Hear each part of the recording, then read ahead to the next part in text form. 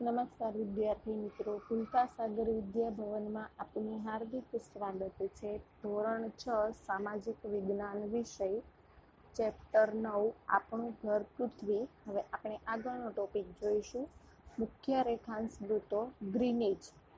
રેખા ઇંગ્લેન્ડના Greenwich પરથી પસાર થતી જીરો અંશ રેખાંશ વૃત્તને ગ્રીનિચ રેખા કહે છે, જે ચિત્રમાં તમને બતાવવામાં આવેલી છે. ગ્રીનિચ રેખાથી પૃથ્વીના પૂર્વ અને પશ્ચિમ બે ભાગ પડે છે જે પૂર્વ ગોળાર્ધ અને ઉત્તર ગોળાર્ધ એમ ઓળખાય છે. ગ્રીનિચ રેખાની એકસો એંસી અંશ પૂર્વમાં પૂર્વ રેખાંશ અને એકસો એંસી અંશથી પશ્ચિમમાં પશ્ચિમ રેખાંશ ગણવામાં આવે છે. તો આ છે ગ્રીનિચ રેખા જેના ઉપરથી વાર તારીખ નક્કી કરવામાં આવે છે અને પૂર્વ પશ્ચિમ બે ગોળાર્ધ પણ પડે છે. હવે આવે છે આંતરરાષ્ટ્રીય દિનાંતર રેખા. રેખાંશ વૃત્તને આંતરરાષ્ટ્રીય દિનાંતર રેખા કહેવામાં આવે છે. તો એ આ ચિત્રમાં જો, વિદ્યાર્થી મિત્ર, તમે જોઈ શકો છો. આ રેખાંશ વૃત્ત માત્ર એક જ છે. આ રેખા ઓળંગતા આપણે તારીખ અને વાર બદલાય છે. તે પેસિફિક મહાસાગરમાંથી પસાર થાય છે. તે કેટલાક સ્થળોએ બરાબર એકસો એંસી અંશ પર નથી. વાંકી ચૂકી છે. તો ચિત્રમાં તમે જોઈ શકો છો કે વાંકી ચૂકી રેખા શા માટે દોરવામાં આવેલી છે? જો એ એક ન હોય અને સીધી દોરવામાં આવે તો એક જ દેશના કેટલાક ટાપુ ઉપર એક જ દિવસે બે વાર અને બે તારીખ ભેગી થઈ જાય છે. કેટલીક જગ્યાએ એક ટાપુ પર બીજી તરફ જતા તારીખ બદલાઈ જાય છે. અને સમય તથા તારીખનો ગોટાળો થાય. એ માટે એ વાંકી ચૂકી દોરવામાં આવેલી છે. આ નિવારવા આ રેખાના માર્ગમાં આવતી જમીન બાજુ પર રાખી તેને સમુદ્ર તરફ ફેરવી છે. એટલે કે તે વાંકી ચૂકી છે. જો સીધી જ રેખા દોરવામાં આવે તો એક જ વાર અને એક જ તારીખ ભેગા થઈ જાય. તો આ આ રેખાનું મહત્વ છે. હવે આપણે જોઈશું આગળનો ફકરો. Global position system, GPS. Global position system દ્વારા મોબાઈલ ફોન અને ગૂગલ અર્થ મારફતે આપણને કોઈપણ સ્થળના અક્ષાંશ અને રેખાંશ જાણવા મળે છે. ઇન્ટરનેટની સુવિધાવાળા મોબાઈલ વડે જે તે સ્થળના અક્ષાંશ અને રેખાંશ મળી જાય છે. આજે તો આ સિસ્ટમ દ્વારા અક્ષાંશ અને રેખાંશ ખૂબ સહેલાઈથી જાણી શકાય છે. તો કે વિદ્યાર્થી મિત્ર, તમે મેપ ખોલો એટલે કોઈ પણ જગ્યાએ તમારે કોઈ પણ સ્થળે જવું હોય તો લોકેશન તમે મૂકી શકો છો અને એ સ્થળ સુધી તમે પહોંચી શકો છો. તો આ જીપીએસ ગ્લોબલ પોઝિશન સિસ્ટમ એનું ફૂલ ફોર્મ છે. તો આ એનું મહત્ત્વ છે, એટલું જ નહીં, પરંતુ એની મદદથી આપણે અક્ષાંશ અને રેખાંશ પણ જાણી શકીએ છીએ. હવે જોઈએ આગળનો ફકરો.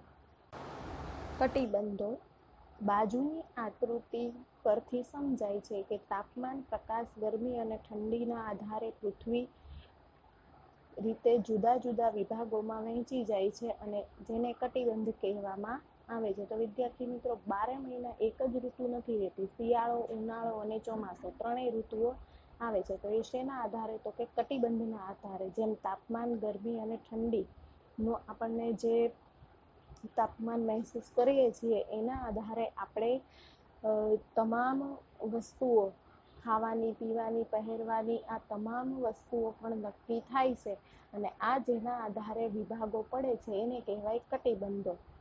વધારે તેમજ ઓછા પ્રકાશ અને ગરમી મેળવતા ભાગોને નીચે ત્રણ ભાગમાં જો વહેંચવામાં આવ્યા છે. કટિબંધના મુખ્ય ત્રણ પ્રકાર છે. ઉષ્ણ એટલે કે અતિશય ગરમી, સમશીતોષ્ણ એટલે કે ગરમી ઠંડી ભેગી, બહુ ગરમી પણ નહીં અને ઠંડી પણ નહીં. એવું અને શીત કટિબંધ એટલે કે બહુ જ ઠંડી એટલે શિયાળાની ઋતુ. તો આ રીતે કટિબંધોને શિયાળો, ઉનાળો, ચોમાસું ત્રણેય ભાગમાં વહેંચવામાં આવ્યા છે.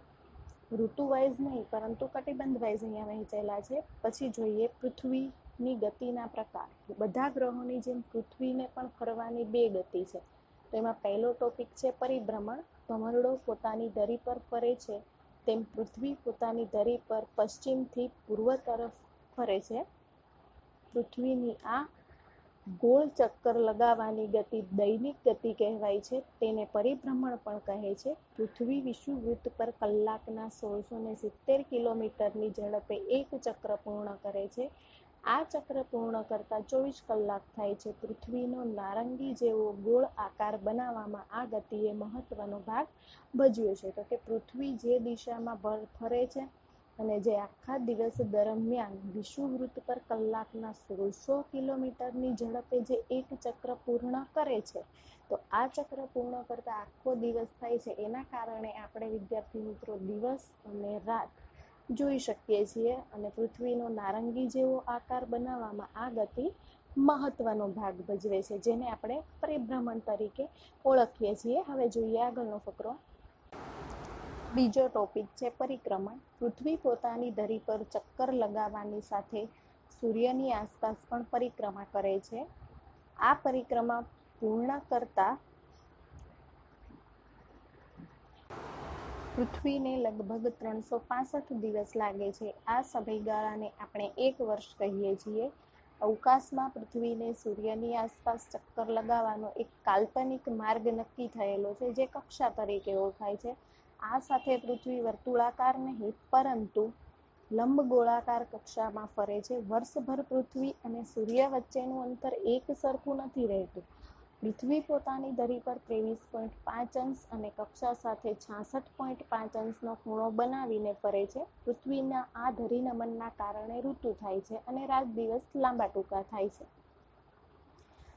એટલામાં આ ફકરામાં વિદ્યાર્થી મિત્રો એમ સમજાવવામાં આવે છે કે પૃથ્વી પોતાની ધરી પર ચક્કર લગાવવાની સાથે સાથે આખા સૂર્યની પરિક્રમા પણ કરે છે અને આ પરિક્રમા કરતાં કરતાં એને ત્રણસો ને પાસઠ દિવસ થાય છે અને આ ત્રણસો પાસઠ દિવસના ગાળામાં આપણે ત્રણ ઋતુઓનો અનુભવ કરીએ છીએ. આ સાથે પૃથ્વી વર્તુળાકાર નહીં, પરંતુ લંબ ગોળાકાર કક્ષામાં પણ ફરે છે અને ધરી પર જ ત્રેવીસ પોઈન્ટ પાંચ અંશ અને કક્ષા સાથે છાસઠ પોઈન્ટ પાંચ અંશનો ખૂણો બનાવાય.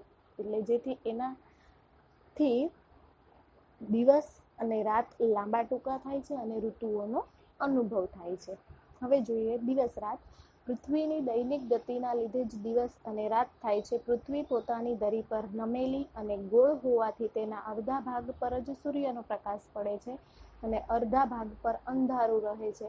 પૃથ્વી ફરતી ન હોય તો એક તરફ અજવાળું અને બીજી તરફ અંધારું જ હોય, પણ તેમ બનતું નથી. આમ પૃથ્વીનું દરેક સ્થળ ચોવીસ કલાકમાં અજવાળામાંથી અંધારામાં અને અંધારામાંથી પાછું અજવાળામાં આવે છે. શા માટે? તો કે પૃથ્વી પરિક્રમણ કરે છે એટલા માટે. તેનાથી પૃથ્વીના દરેક સ્થળે સવાર, બપોર અને સાંજ થાય છે. પૃથ્વીના ધરી નમનના લીધે દિવસ રાતની લંબાઈમાં પણ ફેરફાર થાય છે. એટલે કે જ્યારે પૃથ્વી ધરીને મન કરે છે, માત્ર ને માત્ર પોતાની કક્ષા પર નહીં, પરંતુ સૂર્યની આસપાસ પણ ફરે છે. અને જો એ ન ફરે, તો એક જ દિશામાં અજવાળું તથા એક જ દિશામાં અંધારું રહે છે. પણ આવું થતું નથી. અને તેના ધરી નમનના કારણે દિવસ રાતની લંબાઈમાં પણ ફેરફાર થાય છે અને સવાર બપોર અને સાંજ પણ થાય છે. હવે જોઈએ આગળનો ફકરો. એકવીસમી જૂને કર્કવૃત અને બાવીસમી ડિસેમ્બરે મકરવૃત પર સૂર્યના કિરણો બરાબર સીધા પડે છે. જ્યાં સૂર્યના કિરણો સીધા પડે છે, ત્યાં અને તેની નજીકના વિસ્તારોમાં દિવસ લાંબા અને રાત ટૂંકી રહે છે. જ્યાં સૂર્યના કિરણો ત્રાંસા પડે છે, ત્યાં દિવસ ટૂંકો અને રાત લાંબી રહે છે. જ્યારે એકવીસ માર્ચ અને ત્રેવીસ સપ્ટેમ્બર માસમાં રાત અને દિવસ સરખા રહે છે. તો અહીંયા જે પૃથ્વીનું પરિભ્રમણ ચક્ર વિદ્યાર્થી મિત્રો ચાલે છે, ત્યાં તમે જોઈ શકો છો કે કયા વિસ્તારમાં કઈ તારીખે અને કેટલું રાત દિવસ સરખા રહે છે, રાત લાંબી ટૂંકી રહે છે, આ તમામ આકૃતિમાં બતાવવામાં આવ્યું છે. તો ચિત્રમાં તમે જોઈ શકો છો કે એકવીસ જૂન લાંબો દિવસ, દક્ષિણયાન, બાવીસ ડિસેમ્બરે ટૂંકો દિવસ ઉત્તરયાન દિવસ રાત સરખા એકવીસ માર્ચે હોય છે. એટલે કે બહુ લાંબો પણ નહીં અને ટૂંકો પણ નહીં. ત્રેવીસ સપ્ટેમ્બર દિવસ રાત સરખા હોય છે. બરાબર?